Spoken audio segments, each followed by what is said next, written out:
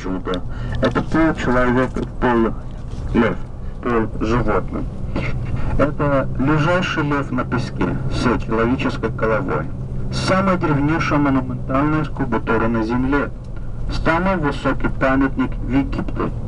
Это символ величия древнего Египта.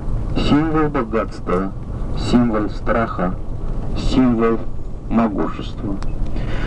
Фараон Хефрен, сын фараона Хеопса. Он решил после строительства своей пирамиды прямо здесь строить сфинкс. Сфинкс был построен был высечен специально именно здесь.